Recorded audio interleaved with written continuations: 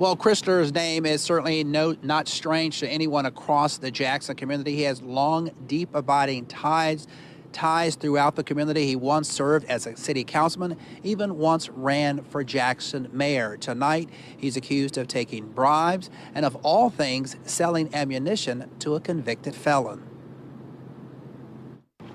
Marshand, you want to say anything?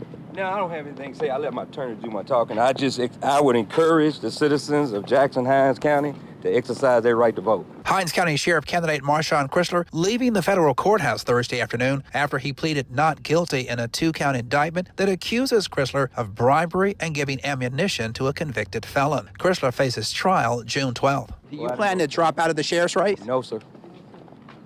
You say you don't plan to drop out of the sheriff's no, race? No, sir. According to court documents, Crisler received thousands of dollars in bribes and agreed to pass on information concerning criminal investigations of the person who paid him the bribes. Crisler also allegedly agreed to protect a jailed family member of the person who bribed him and promised that person a job at the sheriff's office while Crisler was serving as interim sheriff. A little surprised at the allegations. Uh, I've known known him a while, uh, and we'll just have to see what the government uh, purports to have. Crisler is represented by Jackson attorney John Colette.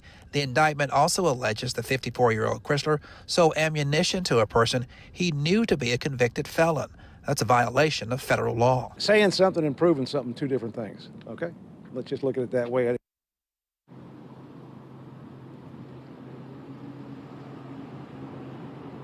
Now, prosecutors also say Crisler accepted campaign donations when he was running for sheriff in 2021, but never reported that money as required by state campaign finance laws. He was released today on a $10,000 unsecured bond. Tonight, we're live at the federal courthouse. Ross Adams, 16 WAPT News.